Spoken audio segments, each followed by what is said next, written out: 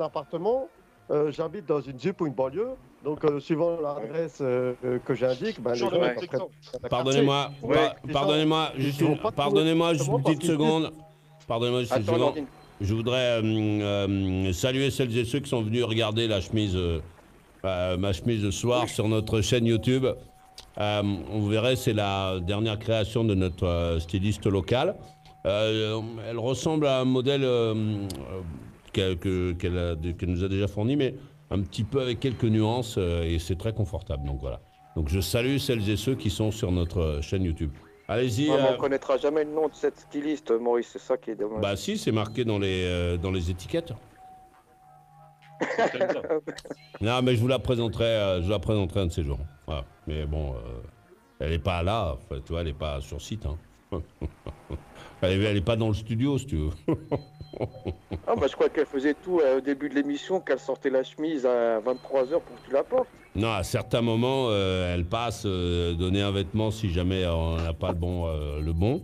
Mais, mais non, enfin, bon, elle a autre chose à foutre que, de- que d'être dans l'émission tous les soirs. En fait, c'est, c'est, c'est une couturière, enfin, c'est quelqu'un qui fait des vêtements, quoi. C'est pas quelqu'un qui passe ses soirées dans les studios de radio. bon, allez-y. Nordine. Oui. Bon, Bah, alors, Tu parlais Nordine, vas-y, qu'est-ce que tu voulais dire là? Euh, il m'a coupé. euh, je, Bon, Non, tu disais les appartements, euh, le mec de banlieue, j'ai pas compris. Donc voilà, suivant, euh, tu habites une banlieue, tu essayes de sortir de la banlieue, tu essayes d'aller dans, de, de louer un appart privé ou peu importe, ou de- d'aller au centre-ville. Donc voilà, je veux dire, le les gens, ils viennent, ils voient que tu viens d'un quartier, ben, ils auront peut-être des réticences, ils ont des préjugés, ils se disent, attends, euh, celui-là, je ne sais pas d'où il, il vient de la banlieue, je vais, je vais me méfier, je préfère louer à- l'appartement à quelqu'un qui, qui vient d'un endroit un peu plus civilisé, entre guillemets, hein, je mets des guillemets, mais voilà. Et alors? Et alors? Ben voilà, c'est des, euh, des préjugés. euh, je veux dire, voilà, on est Mais victime non, mais c'est de. bâti sur une conviction quand même, parce que on va prendre un autre cas. Parce que là, tu prends la banlieue, c'est vrai que c'est dans l'air du temps. Attends, attends, attends, attends, attends, attends. Je prends le même, exactement le même exemple, mais on va changer d'endroit. Je suis à la. Tu es dans un village de 200 habitants, il n'y a que des cutéreux, que des gens qui habitent depuis des générations et des générations. Et il y a un Mais mec qui vient de la ville. Non, mais attends. Il y a un mec qui vient de la ville, il n'est pas basané. Il n'est pas basané. Il n'est pas basané. Euh, il s'appelle Jean-Michel Gauthier, par exemple. Et il va venir s'installer dans ce village-là. Tu crois pas que les habitants, là, ils vont refuser peut-être euh, ce qui s'installe parce qu'ils vont penser que c'est un mec de la ville? Il va nous faire chier? C'est ça, alors pourquoi, dans quel sens euh, Peut-être que les gens Ah, de la campagne, ils sont contents qu'ils viennent repeupler les campagnes. Bah, aujourd'hui, aujourd'hui, aujourd'hui, c'est parce que t'es pas informé, mais aujourd'hui, il y a beaucoup de néo-ruraux qui se comportent comme des mecs de de, comme des mecs de cité, mais à la campagne. C'est-à-dire qu'ils acceptent pas que les gens aient une vie euh, qu'ils avaient par le passé, c'est-à-dire avoir des, des, des poules, des coqs, des moutons, des vaches, parce que ça dérange même le clocher, ça peut même déranger certains néo-ruraux. Donc, euh, donc aujourd'hui, ce problème se pose aussi à la campagne. Aussi, c'est là où tu vas en venir je, je vois pas tout. je vois Ça pas veut dire qu'à un moment donné, il y a un ordre établi qui n'est pas dit. Par exemple, tu arrives dans un endroit, tu adoptes, t'adoptes des codes, même si on ne les a pas écrits sur un papier, tu vas te formaliser par rapport à l'ambiance qui reste. C'est-à-dire que si tu rentres dans un endroit, tu vas mimétiser quelque part ce que font les autres qui sont là depuis un certain temps. Et c'est tout à fait légitime. Mais maintenant, un mec de cité, si moi j'ai un appartement, que je suis basané, que j'ai un appartement euh, en centre-ville et qu'il y a un mec de banlieue qui vient, je vais aussi me poser la même question. C'est pas une question de, tu de préjugés, c'est une question que je me dis que, ben, connaissant comment ça se passe en banlieue, j'ai peur que le mec qui va venir habiter là, où je mets en location, il va se comporter de la même manière qu'en, euh, dans sa cité.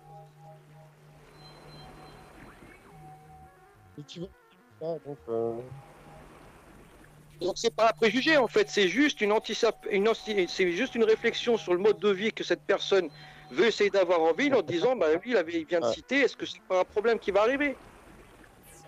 C'est quand même des préjugés parce que cette personne elle pourrait tout aussi bien s'accommoder à la campagne et peut-être. euh, parce dire, que si on te dit, euh, Nordine, si on te dit, Nordine, si on te dit que par pourquoi tu cries dis- Parce que tu es tout seul à parler. C'est pas la peine. Non, bah excusez-moi parce que j'ai, parce que c'est euh, peut-être le micro qui est trop fort chez toi, j'en sais rien. Mais ce que je veux dire, c'est que par exemple, si je te dis que je viens de Valfouré et Ouais. que toi tu as proposé une location, je sais pas, dans le Ouais. dans le 7e, connaissant Valfouré, tu vas dire quoi? Je t'en propose pas De quoi l'appartement. Tu vas me louer l'appartement? Non, je te dirais qu'il est pris. Non, voilà, euh, je sais pas, mais voilà. C'est malheureux, non, je sais pas. Mais euh, c'est vrai que peut-être euh, j'ai pas d'appartement à je, moi, je louer, mais je- je le déplore, je le déplore, mais je, je constate, je fais les constats. Et ces constats, c'est aussi une partie de la base de ton préjugé. est-ce que c'est préjugé? Ah, je voudrais dire, en fait, c'est pas une cravate, hein, c'est, euh, c'est, euh, ça fait partie de la, de la chemise. Bon, pardon, excuse-moi. Non, non, non, Alors, est-ce que c'est positif les préjugés ou pas? Bon, Bah, des, des fois, ça, des fois, ça peut l'être, des fois, ça ne l'est pas. hein. Ok. Je, je sais pas, moi, il y a- c'est- c'est c'est contexte. on va écouter. aussi, euh, Ok, on va écouter Yannick à Ramonville-Saint-Agne. Il y a une question que on t'a- qu'on t'a pas posée. Euh, y a une question que t'as pas posée, Yannick, euh, mais c'est à toi la main. Question, question que j'ai pas bon. Je sais rien.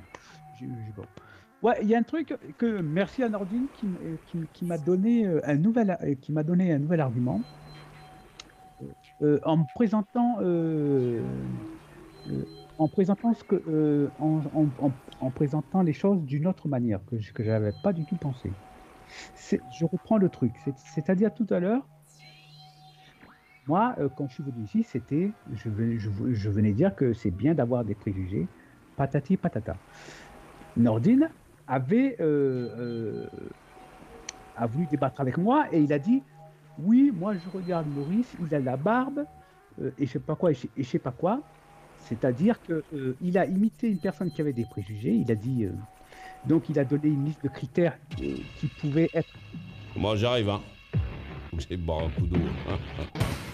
Hein. Ça fait 22 ans que ça dure et c'est pas fini. Les hyper best-of de Maurice Radio Libre période syndication, c'est parti. Quand tu fais Paris-Bordeaux en avion, les mecs ils t'expliquent comment on met un gilet de sauvetage. Parce qu'ils ne savent pas en fait, on leur a pas expliqué ce qu'il y avait en dessous. Ou alors ils se disent, bon s'il y a un crash, on va tomber dans la Loire.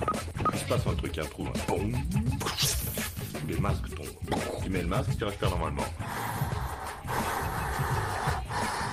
Alors peut-être, il est possible que dans un cas précis, dans ce cas précis, tu respires ça. Et de temps en temps, comme le souligne libéré, je suis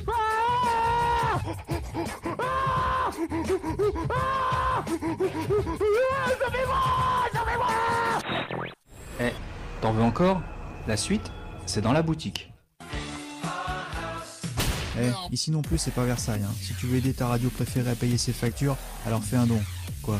T'as des oursins dans le porte-monnaie Tu offriras aussi des bons moments à venir. Maurice Radio Libre remercie les plus malins d'entre toi qui ont compris comment ça fonctionne. Maurice Radio Libre, la radio carrément rock, la radio carrément libre. Eh mon gars, et ma fille Après le mail, le Skype, la lettre postale, le chat, les réseaux sociaux, on a encore trouvé un moyen pour t'adresser à Maurice. Le message audio. N'hésite plus, donne de la voix et écoute-toi ensuite dans ta radio préférée en envoyant ton message à maurice.mauriceradiolibre.com. À toi de jouer. Maurice Radio Libre, la radio carrément rock, la radio carrément libre.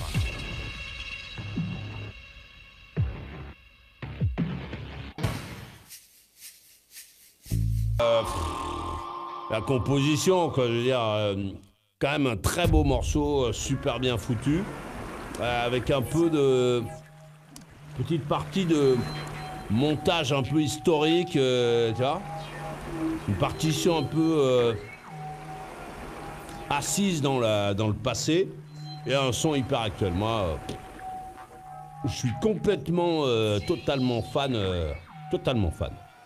Message dans ma boîte maurice at maurice arrobase mauriceradiolibre.com. Euh, message de Laurent, 45 ans, à Nancy. Salut mon meilleur ami expatrié.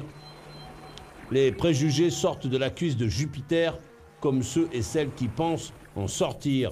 C'est euh, l'apanage de notre société être exceptionnel et unique euh, dans la rhétorique, qui sommes-nous pour juger l'autre dans nos propres travers, faiblesses L'emballage ne remplace euh, euh, pas le contenu euh, par le contenant. Et si le contenu était des histoires de gens avec des marques au lieu d'histoires de marques avec des gens, point d'interrogation, ce qui fait la base de l'homme, femme ou la femme, c'est d'être lui ou elle en toutes circonstances sans être sans être soi dans l'autre et se perdre. Bonne fin d'émission. A des mecs qui écrivent. hein. Il y a des gens qui écrivent. Un message euh, de Michael, 38 ans à Lyon. Bonsoir Maurice. Dans notre pays, effectivement, on préfère euh, montrer les mauvais, les pas bons. Et d'ailleurs, euh, ça m'a rappelé que j'ai demandé à l'institutrice de mon fils de 3 ans, qui est en petite section, s'il communiquait en classe, car il a un léger retard d'élocution et de vocabulaire. Elle a essayé de me rassurer en me disant que c'était normal et en faisant référence aux enfants qui sont encore plus en retard. Mais moi, je fais référence à son grand frère qui a 6 ans et qui a un an d'avance par rapport aux autres élèves.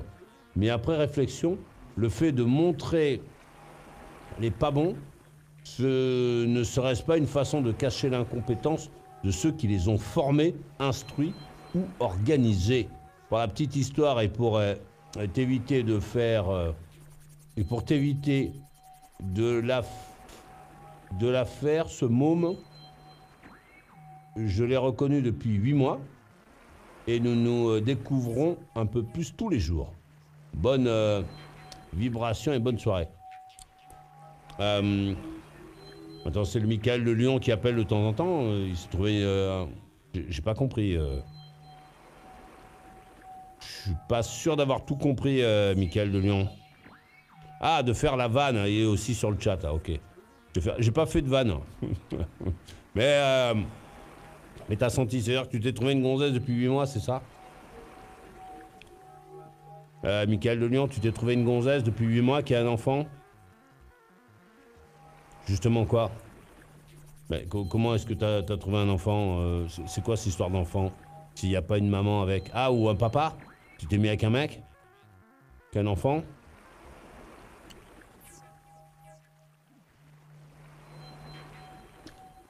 Euh,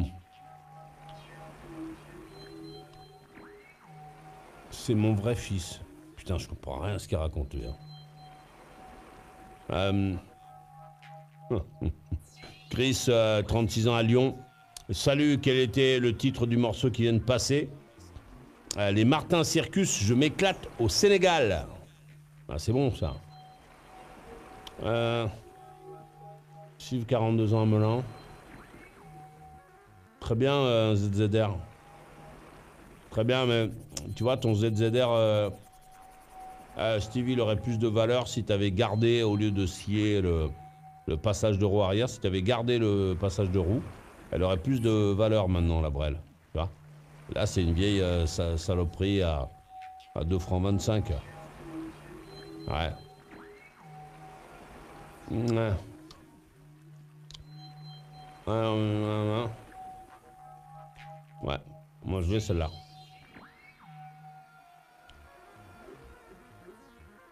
Je vais celle-là encore. Bon, euh, donc je comprends pas. Je pensais qu'il n'était pas de moi. Finalement, si. Compliqué ça. C'est un enfant qui a 8 mois. Je comprends pas quel âge a le gosse. Bon, Michael de Lyon, tu m'appelleras hein, demain pour me raconter. Parce que là, c'est pas compréhensible ce que tu racontes. En tout cas, on a compris qu'il faut pas que tu écrives de livres. D'abord, euh, nous avons euh, Yannick, il a 42 ans, il est à Ramonville-Saint-Agne. C'est exact. Euh, Fabrice, euh, 47 à la Ferté-Alais. Bon, présent. Ah. Euh, Nordine, 46 à Neuchâtel en Suisse. Présent. Tristan, 33 à Lille. 32, mais présent. Ah, il a perdu un nom, lui, ça y est. Kader, euh, 45 à 3. Oui, je suis là.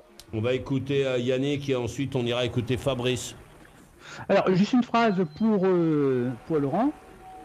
Euh, euh, c'est la parole d'un penseur rappeur NTM appelé Joe Star. Lorsque c'est trop sophistiqué, c'est péché, tu vois. Moi, j'estime que tu, tu, tu, pê- tu pêches par sophistication, par vouloir être plus fin que plus fin que tout le monde. Bon, voilà, c'est tout. À qui tu t'adresses? À Laurent euh, sur- au mail. Donc, je vais revenir à Nordine. Nordine, tout, tout à, tout à l'heure, euh, il a voulu prendre pour exemple que le fait que Maurice était un, pouvait être- enfin, était un barbu et que patati patata. euh, euh, On aura si- fait toute l'émission là-dessus. Attends, c'est bon, si t'es ré- content ta- ta- Fabrice, ta gueule, tu raccroches si t'es pas content. Et donc, laisse-le, laisse-le.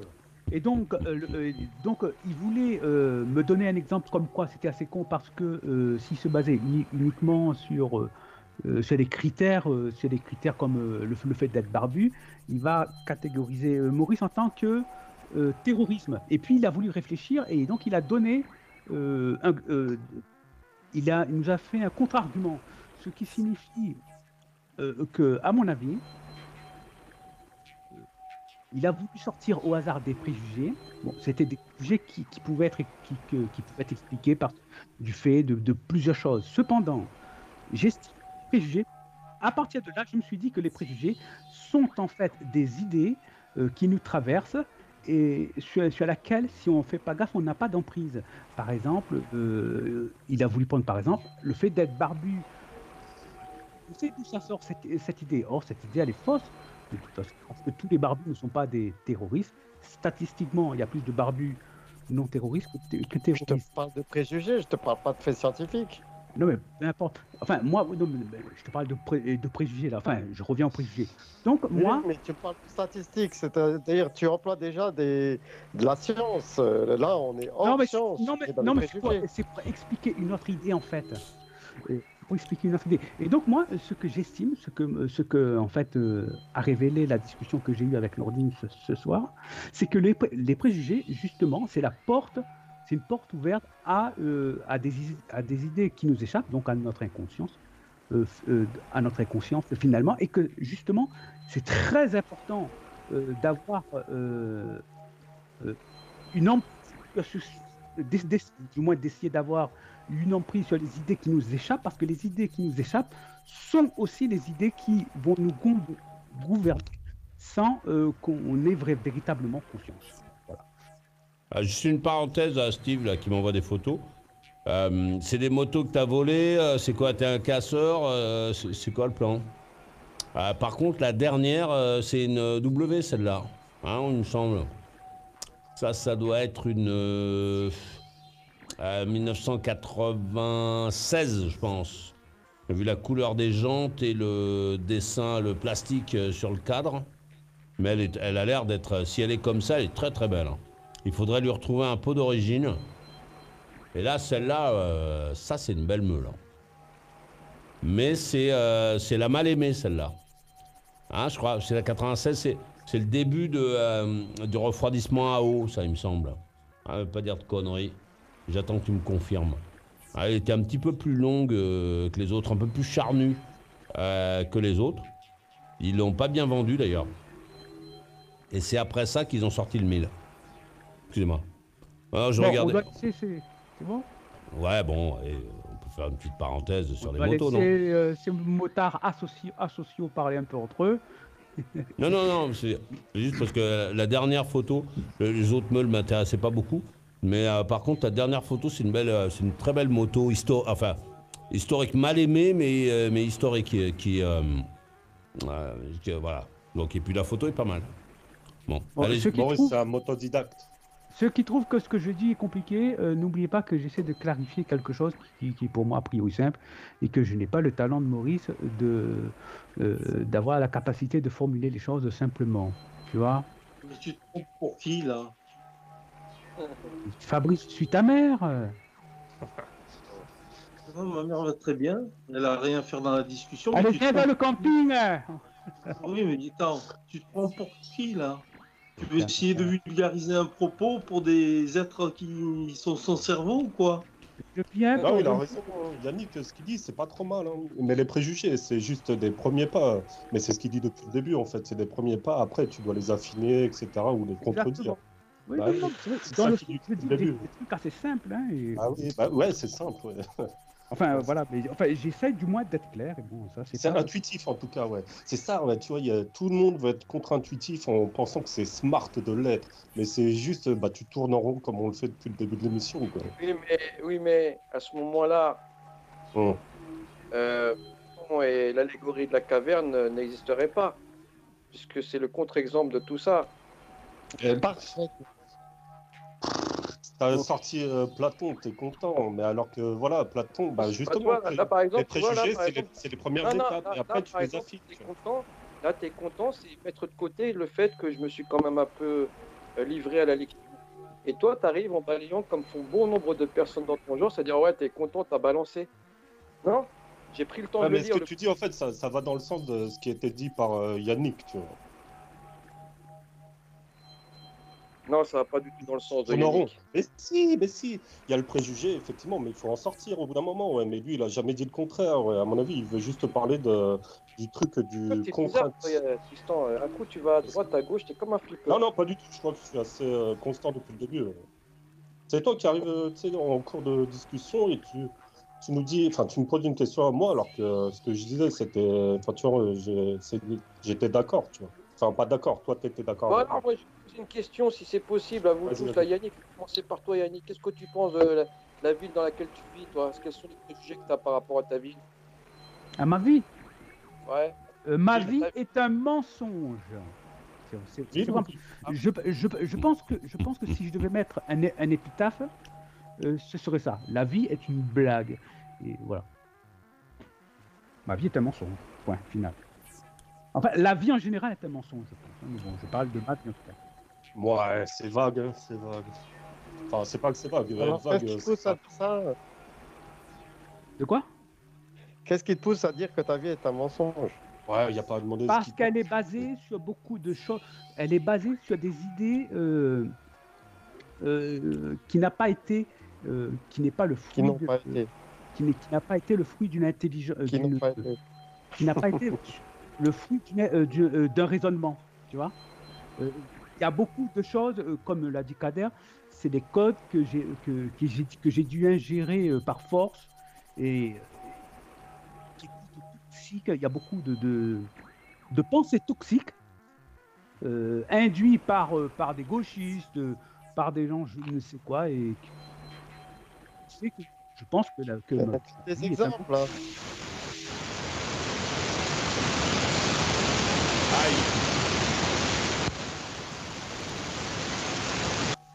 C'est Yannick qui a, un- euh, une merde. Euh, c'est Yannick de Ramondé de Saint-Agne. Yannick Allez. Euh, Yannick, il faut que tu relances ta machine ou ton je sais pas quoi. parce que manifestement, il y a un problème avec ton micro. C'est chez toi que ça fait ça.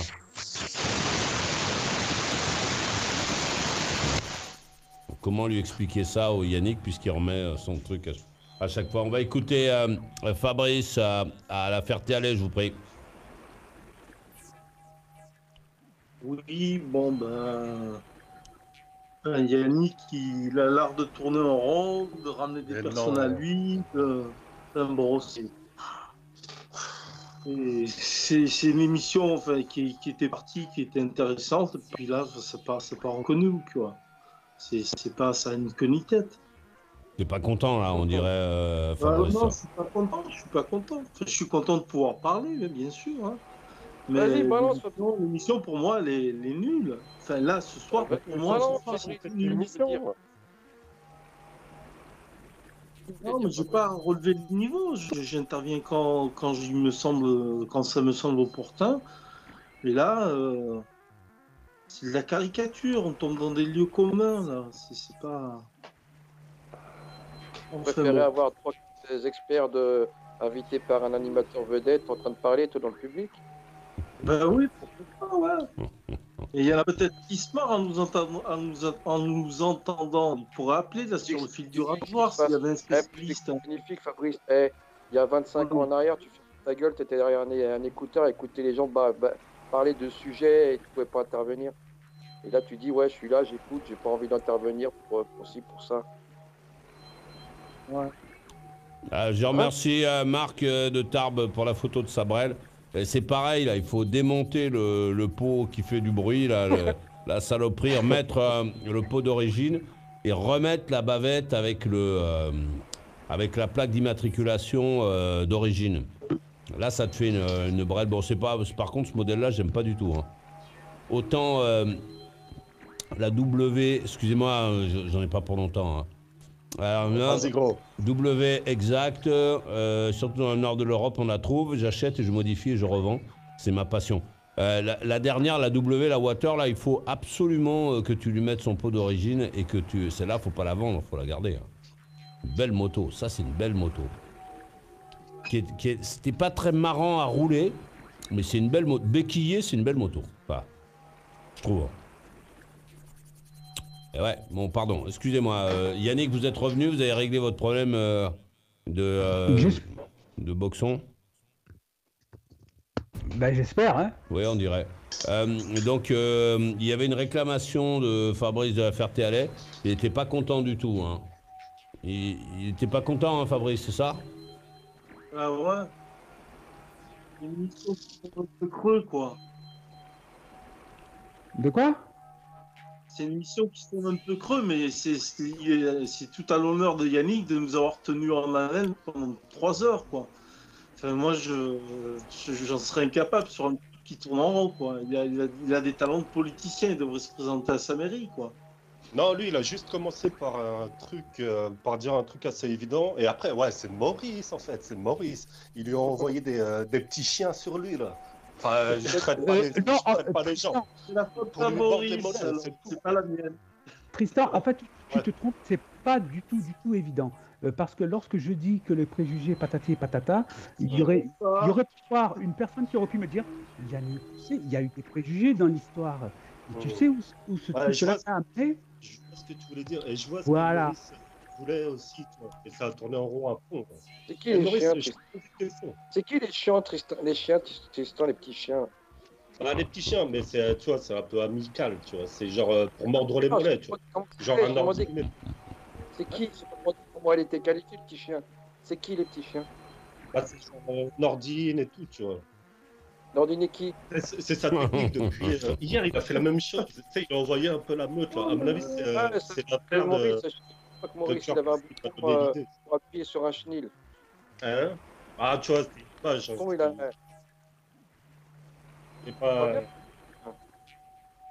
Moi, je t'aime bien, Kader. Je t'aime bien. Faut répondre à quoi tout ça, là De quoi? Faut répondre à quoi? Faut répondre. hein. Non, non, je dis Non, juste. Le petit chien qui va mordre les, mordre les mollets, c'est ça? Ouais, c'est ça. Ah bon Bon, Très bien. Ouais, tu- dis pas ce que je pense, donc je suis un hypocrite. euh, Bah, Non, tiens, justement. pas. Très bien, on- va- enfin, Je vais pas relancer un truc comme ça. Très bien, on va écouter Nordine justement à, à Neuchâtel pour voir ce qu'il a à nous raconter. Bah, écoute, euh, sinon, voilà, moi je pense qu'on a fait le tour du sujet. hein, sur, euh, voilà, je pense que Nourdine a très bien, euh, par- pardon, Kader a très bien terminé la phrase, parce que je ne m'appelle pas Nourdine en vrai. Euh, je veux dire, il a très bien, il a apporté une, une excellente conclusion en apportant l'allégorie de la caverne de Platon. Donc euh, voilà, je pense qu'il n'y a rien à ajouter. Euh, Alors, euh, attends, moi, j'ai pas, j'ai pas compris mal l'allégorie. là. C'est c'est quoi ce truc là? À quoi ça sert d'avoir euh, Est-ce que, tu- est-ce que vous pouvez me l'expliquer? Télécharge en PDF et publie. Ouais, non, expliquez-le, expliquez-le. Non, mais raison, Yannick. si c'est pour quoi, me quoi renvoyer, si c'est pour me renvoyer euh, euh, au cours d'école, ça sert à rien. Parler des choses euh, qui- euh, que, que les gens, parler des choses accessibles. Tu vois? C'est accessible, moi, je peux rien faire pour toi. je veux dire, je peux pas Non, non, ça c'est facile. Explique-nous ce que c'est que l'allégorie de la caverne. Yannick, t'as le niveau abus, là, là c'est total. Hein. Quoi? Qu'est-ce qu'il raconte Bon, oui, Kader, alors vas-y, euh, dis-moi, c'est quoi euh, ton truc, allégorie euh, Platon là? Non, mais d'abord c'est Nordine qui parle, donc après Nordine s'il veut bien. Oh, il en Nordine, parlera. vas-y, explique alors. Ça c'est sera quoi ton- la question Écoute, la directe. théorie de la caverne, il y en a plein qui vont t'expliquer. Donc, c'est des gens qui sont fais-le toi, avec qui tes vont, lunettes et ton les jacquard. mains derrière le dos, qui sont en train de regarder des images à travers, euh, je veux dire, euh, voilà, enfin, c'est des images à travers euh, des. Comment on appelle ça Je crois que c'est. Euh, enfin des genres de, de marionnettes qu'on anime, euh, voilà, sur un, un écran, euh, voilà. Et après, il y a quelqu'un qui arrive à s'échapper, qui voit la lumière, et après, il revient, il essaye de sauver les gens et de leur dire, voilà, c'est pas ça le monde réel, parce que lui, il a Non, vu le monde réel. c'est comme ça, Nordine, c'est pas comme ça. La tête est Ouais, trop vite. j'essaie d'aller très vite, mais voilà. C'est-à-dire, c'est comme s'il y avait un mec, Yannick, il était attaché euh, sur une chaise dans une cave, et euh, avec Tristan, et bon, on était tous à l'intérieur de la cave, tu vois, puis qu'on avait un filet de lumière qui, euh, qui nous balançait sur un mur en face de nous, dans l'obscurité, des images, des ombres. Et chacun irait de sa façon de voir les choses en disant c'est un monstre, c'est ci, c'est ça. Et donc on serait tellement pris dans, notre, notre- dans nos angoisses, dans notre imaginaire euh, négatif que euh, on resterait à terme tout le temps en fait enfermé dans cette, euh, dans cette cave. Sauf que certains d'entre eux euh, décident de vouloir aller voir de plus près, d'avoir les clés, l'esprit clairvoyant et d'en avoir la confirmation. Il y en a un qui arrive à se, à se détacher de, sa, de son siège et euh, malgré euh, que tous les autres l'interdisent euh, de peur d'avoir des représailles et tout ce qu'on peut raconter comme histoire, hein, c'est, il n'hésite pas à monter, puis il s'aperçoit qu'en fait l'ombre qui était projetée sur le mur de la cave n'était rien d'autre que porter une jarre. en fait. N'était rien d'autre que Une jarre, une femme qui portait une jarre sur sa tête, qui était partie chercher de l'eau, euh, semble, qui est partie chercher de l'eau, et, le filet de lumière était l'ombre de cette femme euh, sur, euh, sur le mur de la cave. Donc quand il est redescendu pour leur dire qu'en réalité il ne s'agissait pas de monstres mais de gens, la plupart l'ont moqué, l'ont ridiculisé. Ouais, c'était un bon, un bon résumé. Bien joué, Kader. Bon, quelque part, c'est en fait, c'est que c'est qu'en fait, c'est des croyances qui se croisent et euh, euh, finalement qui obscurcissent la vérité, peut-être, c'est ça sur des préjugés. Non, c'est à la base. À la base, ils connaissaient rien d'autre, tu vois. Et à partir de ça, ils ont vu que c'était pas ça. euh, C'était pas. Il y avait pas tellement de trucs de, euh, négatifs en fait. Ah si, ouais, vu que le gars il, a, il est sorti et tout. après, Enfin, bon, en gros, ce que Kader dit, c'est que les croyances sont aveuglantes, point final, et qu'il faut s'en débarrasser. C'est tout, c'est ça Ouais, je pense. Ouais. Bien joué, Kader. Moi, je suis... euh, Non, mais c'est moi qui a fait ça. Attends, tu rigoles ou quoi De quoi T'as- pas dit la, t'as pas dit la Kader En là, deux, en T'as deux, pas dit la Kader. mots. T'as En pas dit la Kader. Ouais, mais c'est ça. ouais, c'est ça. J'ai remarqué un truc, Tristan, j'ai remarqué un truc, Tristan, mais t'es pas le seul. hein. J'ai remarqué que souvent des gens, quand ils me parlent, Kader, tout ça, ils prennent un ton de banlieusard, je sais pas pourquoi. Ouais, c'est pas faux, mais c'était plus euh, pour Nordine en fait. Bah, t'en as un petit aussi, ouais. Mais euh, ouais, bah, des yeux de- du préjugé. là. Mais je t'aime bien, en vrai, c'est vrai. Même sur le chat, je le disais que je t'aimais bien. Je te défendais, même. Non, mais Tristan, il a déjà un accent de racaille, euh, non?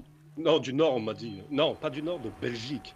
Putain, une fois, il y a des gars, ils étaient de Ah, Eh, Claire. mais moi, j'aimerais bien si Kenza, elle est là. Est-ce que Kenza, toi, t'as été Elle s'est barrée, je Elle s'est barrée. Ah, elle s'est barrée. Et je peux poser une question? Euh, ça tombe bien, c'est justement, c'est à toi la main, euh, Tristan. Ok, cool. En fait, euh, je voulais juste ah ouais, faire une petite remarque. Je viens de comprendre la, la blague de Martin Circus et tout sur le chat. En fait, c'est toi qui fais de la rétention d'informations. Mais ça, c'est pas bien. hein. Pas du Tu tout. veux pas dire les, les sons que tu mets et tout quoi. Si, si, ah, bien sûr que si. Dès qu'on me tu demande. t'as euh, dit que c'est Martin Circus. que- bah, bah oui. c'est pas drôle, c'est pas très grave. Bah si, c'est Martin Circus. C'est pas Il Bah, dit les écoute, choses, écoute, c'est ce qui a marqué sur les pochettes, euh. C'est de Maurice de vouloir éduquer les gens. quoi. Enfin, pas les éduquer, mais le faire, euh, genre, euh, apprends à pêcher. ouais. Mais, euh, ouais, euh, sinon, ouais, moi, je voulais te demander un truc. C'est euh, comment on va faire tout le monde pour le nouvel an, en fait? C'est toujours assez. euh, Ouais. Un le nouvel an, c'est toujours, euh, comment on dit, disappointing. Toujours, toujours. C'est toujours quoi? que vous content Euh, Décevant, décevant. Allez, parle français ici, hein, c'est le mieux, hein, c'est le plus simple. Et ça, ouais, c'est- euh, parce qu'il y a des gens qui ont des bons pour le nouvel an, parce que j'en ai fait et tout. C'est toujours. Après, on dit souvent que la nuit, de toute façon, c'est le monde de la déception. hein. On est toujours un peu déçu euh, quand on va au troquet, on se dit ah, je vais revoir une belle femme, ou se faire des potes, se faire des potes. Et le jour du nouvel an, c'est un peu décuplé tout ça. C'est un peu décuplé. On se fait des, euh, on se fait des beaux trucs et tout, mais c'est toujours de la merde. Et euh, je voulais demander si il y avait des gens qui avaient des belles idées pour le nouvel an. Bah, euh, si tu veux passer une bonne soirée, il faut monter une soirée. Comme ça, tu es sûr qu'il y aura dans la soirée ce que tu as envie de vivre. Ouais, c'est pas ouais, c'est Si tu as du, du champagne, tu fais, tu fais une fontaine de champagne euh, qui coule à flot dès que tes invités arrivent. À minuit, tu fais un feu d'artifice. euh, tu, peux faire un truc énorme. Ou alors, tu as moins de pognon, euh, tu fais un truc plus simple avec ta stéréo, euh, un petit programme musical aux petits oignons qui plaît bien à tes amis. un petit peu de lumière, un peu de déco, tu te mets des, des vêtements qui te, dans lesquels tu te, tu te sens valorisé, et voilà, en avant. Ah, certes. Parce que l'idée de se Ouais, dire ouais. le premier de l'an, je vais, je vais aller dans une soirée euh, commerciale, Ouais, c'est bidon. Ouais, c'est bidon. Bien sûr, bah, bidon. ça dépend. Euh, Il y a des soirées commerciales formidables dans les grandes villes. euh, euh, Quand souvent. t'es VIP un peu. ouais. Euh, bah oui, enfin bon, voilà, il y a des soirées extraordinaires. Et puis, il y a aussi la, très, la soirée très personnelle que tu vas monter chez toi, avec autour de toi les, les gens que tu as envie de voir. C'est pas mal aussi. Ouais, c'est sûr. C'est sûr. À mon avis, c'est le meilleur truc. C'est le meilleur truc. euh.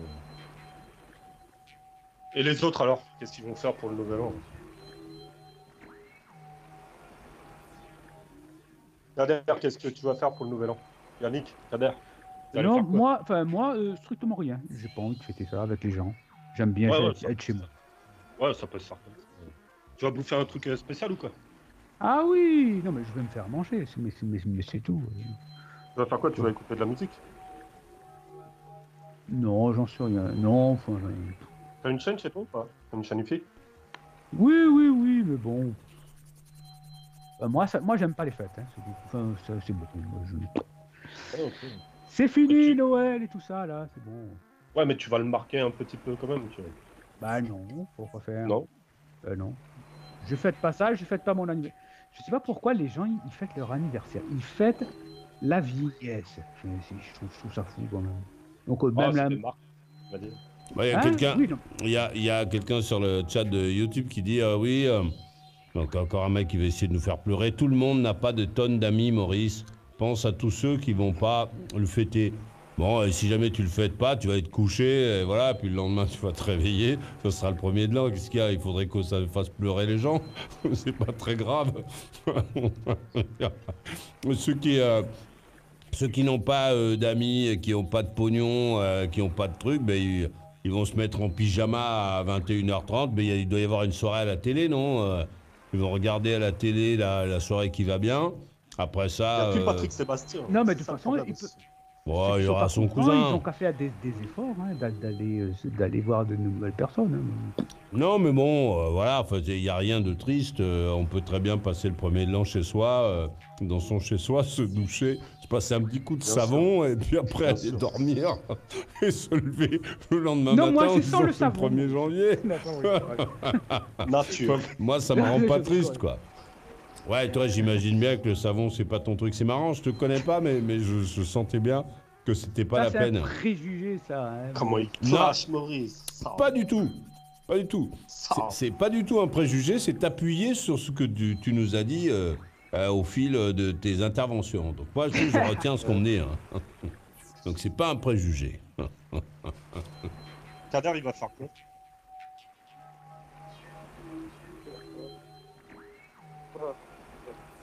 Ça va pas, Kader euh, On t'entend pas parler là. euh. Tu veux qu'on appelle le SAMU? T'es tombé ou Non, mais quoi je comprends pas. Euh, quoi, Kader? Bah, Il te Ah, je te demande. demande ce que tu vas faire pour le nouvel an. Bah oui. Ah, nous, Je m'intéresse. Moi, chez moi, à l'abri de la foule euh, euh, alcoolisée et inconsciente. Et comme ça, ça sera bien, comme je fais depuis plusieurs années. T'es tout seul, euh, Kader? Ah, J'ai dit je, tu m'as pas dit avec qui? Ah, là, je te le demande. ouais. Là, attends, il n'y a pas d'animosité du tout dans ce que je te demande. hein. Ouais. Kader, il a Ah, Kader, il a pris son bâton là, il a été le chercher au garage. La chaîne, la chaîne, euh, Maurice. Euh, et Tristan va prendre un coup de chaîne dans la gueule ou un coup de bâton dans la gueule, alors que Ah moi, il demande. ça il- me fait vraiment mal de, de Kader alors que euh, j'ai demande vraiment juste, euh, Ah, mais non, Non, les- vraiment. les fêtes de fin d'année, les fêtes de fin d'année, je les ai Ah. toujours passées chez moi. J'ai jamais, euh, ça fait, enfin, j'ai jamais, non, je vais pas dire jamais, mais depuis un certain nombre d'années, je ne, je ne sors pas ces, ces moments-là, non. Mais pourquoi Non, tu mais dis en, sûr, ouais, en famille, Kader Tu as honte de ta famille ou quoi? Ah, t'es en famille. Je sais pas pourquoi il a honte. Famille. Euh, Mais euh, c'est en, famille, je passe en famille comme. euh, oui, ouais. Voilà, cool. Non, attention, Noël, c'est une fête de famille. À Noël, on reste en famille, etc. Mais le premier de l'an, c'est pas une fête de famille. C'est une fête de copains. Ouais. euh, c'est le moment où, euh, voilà, où tu peux te déguiser en sorcière, euh, aller pousser des cris après avoir vidé une bouteille euh, de jus d'orange tout sec. c'est ça le premier l'an. C'est voilà, c'est la. D'orange, tu veux dire. Oui, bah oui, une, une bouteille de jus d'orange. Parce que ça, là, les oranges, ça monte à la tête, hein, ça, te met à- ça te permet de faire des, des choses un peu. Et, euh, et donc voilà, euh, le premier de l'an, c'est une fête. euh, alors, alors, le rapport avec les gonzesses du, de France, par exemple, pour, le, pour le 31, c'est- il va être compliqué, hein, il va être difficile. hein. Parce que bon, Tu l'année dernière, euh, l'année dernière, tu pouvais encore te, te mettre la tête à l'envers, attraper une fille que tu connais pas par les épaules et lui faire un, un petit bisou comme ça. Là, aujourd'hui, c'est balance ton porc, tu te retrouves Ah au ouais. commissariat, mon pote. hein. Attention avec ça. Non, mais c'est vrai. Hein. En parlant de vrai, ça, en parlant de ça, est-ce que je peux demander à Nordine ce qu'il va faire? Je pense qu'il va, se... il va se payer une escorte. C'est ça que tu vas faire, euh, Nordine? Une Ford, euh, Ford Escort ou? Non, non, non, non, une escorte, tu sais, une pute de Ah, d'accord. Ouais, Ouais, c'est à toi que je parle, j'ai demandé à tout le monde. Écoute, pas du tout. Que tu vas faire Voilà, à ta question. Hein? Pas, Non, pas c'est- du tout. Ah, rien. Là aussi, tu peux préjuger alors. Et toi, Nordine, tu Oh, vas fêter arrête Noël. Attends, j'ai pas compris. On vous entend pas très bien, donc essayez de, de parler dans votre euh, outil de communication. Il faut soigner un peu l'histoire, comme ça, ça nous permettra de vous entendre. Euh, j'ai pas compris, donc euh, toi, Nordine, tu, tu fais quoi pour le, le 31 C'est quoi le programme?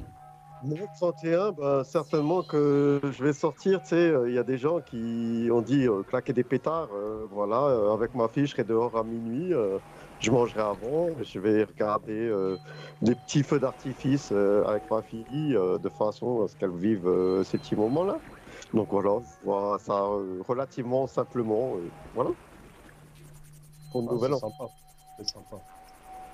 Ah ouais, c'est c'est Strasbourg, c'est ça en fait? Non, c'est en Alsace. Ouais, ouais, c'est à Strasbourg. Font- ici, euh, il y a des feux d'artifice. les Il y en a, en Allemagne, t'achètes, euh, il y a des gens, ils achètent des palettes et ils vendent des gros trucs, là, Ah, des, des obus, je sais pas quoi. Pardon? Ah, C'est interdit ça. Pardon? Je vous entends mal. hein. Ouais, moi aussi. On t'entend plus, euh, Kader. Je sais pas ce que tu fais. on t'entend plus. Il faut que tu parles comme quand tu, comme quand tu interviens dans les conversations. Là. Pareil. Non, je dis, je dis, c'est Ah, interdit. Qu'est-ce qui est interdit En Al- Non, le nouvel an. Bah, c'est le- autorisé. les- Le 4 juillet, t'as le droit de claquer des pétards.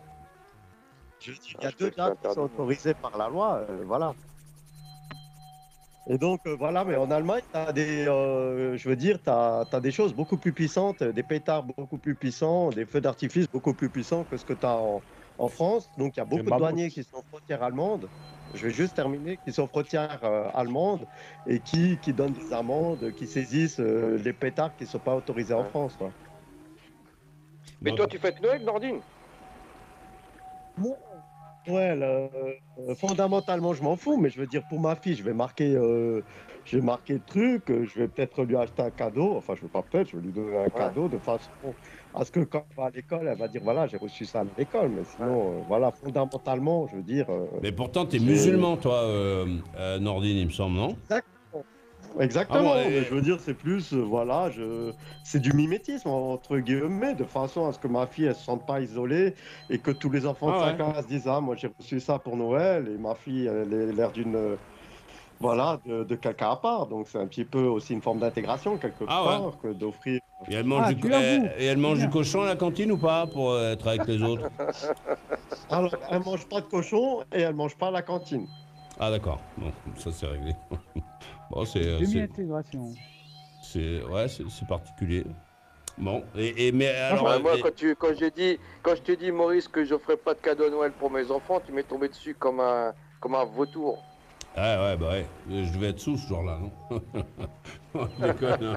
Bon, allez, euh, on, va, on va faire les procédures de sortie. On va écouter la conclusion euh, de Yannick de Ramonville-Sainte-Anne, je vous prie. Alors, euh, juste un truc avant ma conclusion. comme quoi, Nord- Nordine voit bien que, que, le, fait le fait Noël est une fête qui, qui, qui, qui, pe- qui permet une, intégra- une intégration. Je dis ça entre parenthèses. Bon, le fait de ne pas, de ne pas vouloir suivre les, les coutumes d'un pays, c'est aussi de ne pas euh, s'intégrer, point final. Et puis un jour, on va pas se plaindre parce que euh, le pays qui nous a accueillis est raciste, euh, nous rejette, patati. On fait aussi les choses pour que les gens ne nous acceptent pas. Bon, on pourra se battre une prochaine fois, je pense. hein. Ah, c'est pas inintéressant. Comment? Non, je dis c'est pas inintéressant. On ne relance pas, personne ne Oui, va te répondre. Tout à fait, tout à fait, tout, tout à fait. Donc, ma conclusion, je vais dire mon, mon délire de, de, y a quelques semaines et que ça continue là. C'est-à-dire que maintenant, maintenant je, vais, euh, je vais chez mon ép- épicier et je m'achète 2-3 kilos de, de grenades. Hein? Ouais. De grenades. Et là, je les prépare et là, je les mange petit à petit. C'est vachement bien. Juste une dernière chose, Maurice. Les, les- euh, comment on appelle les, les arbres qui font des laitues? Alors ça, j'en sais rien. Moi, des litchis, j'en avais jamais vu des vrais avant de venir ici, donc j'avais vu qu'en boîte. dans c'est- ma enfin, vie. moi, je trouve que moi, je, je trouve que c'est, c'est- c'est- je trouve que c'est un très très beau arbre fru- fruitier euh, parce que c'est vachement haut. Il y a, tu as des grappes de de, de, de, de- de laitier rouge. Enfin, moi, je trouve que c'est extrêmement joli. Ouais, je suis Je sais pas, c'est hein? Oui, je dis oui, je suis d'accord. ouais. Ouais. Voilà, moi je trouve que c'est une. Voilà, moi simplement je trouve que c'est. c'est- c'est- Pour moi, c'est l'un des plus beaux. euh, Enfin, je vais pas dire arbre parce que je sais pas comment on dit, mais je trouve que c'est vachement beau. Et je demande aux gens d'aller euh, d'aller voir sur l'internet et de ne surtout pas acheter les laitiers qui arrivent en bateau. C'est absolument dégueulasse. Acheter plutôt des laitiers qui arrivent chez vous en avion. Voilà. Bah, elles viennent du même endroit, hein, parce que je connais euh, donc maintenant des mecs. Je connais Oui, des mais mecs. c'est euh, différent les laitiers euh, quand ça vient en laitier et en bateau. Euh, En Ouais. avion et en bateau. Enfin bon, Voilà. elles sont, elles sont euh, porte à gouverne, euh, parce que maintenant, je, parce que j'ai discuté avec les, les gens qui les envoient donc euh, depuis Madagascar en France. Il y a effectivement des mecs qui en envoient euh, par bateau et par avion, donc tout dépend du fric du client, hein, parce que c'est le client qui paye le transport du, euh, du, du litchi. Donc quand le client a beaucoup de pognon, il envoie par avion, donc ça arrive vite. Mais elles sont toutes soufrées par contre. Il y a du soufre, euh, alors que Ah, mais ils mettent du soufre dessus pour qu'elles puissent tranquillement vieillir. Et puis je crois que c'est les normes européennes, je crois qu'ils les obligent à le faire. Euh, mais c'est c'est un fruit, moi, que j'avais jamais vu en vrai, euh, à part en boîte, euh, avant de- de- d'arriver à Madagascar. Et que je mange, ben, je vous en montrerai, tiens, euh, demain, qu'il m'en reste euh, une montagne. Et que je serai obligé de donner, euh, sans doute, parce qu'il y en a trop. Ok, non, les bonnes à toi. Merci. Merci d'être venu. La conclusion de Fabrice à la Ferté-Alais.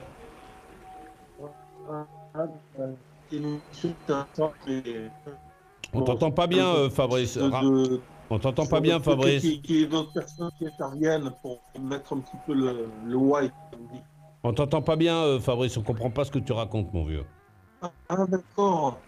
Dans l'émission était un petit peu décevante parce que bon, on a même trois, trois, trois euh, des préjugés et j'aurais souhaité qu'il y ait d'autres personnes qui interviennent, style Alexandre ou Julien, ou ça aurait permis de, de changer de, de- Bah, T'as qu'à les appeler chez toi. Vous avez- pouvez discuter entre vous. euh, C'est le mieux, non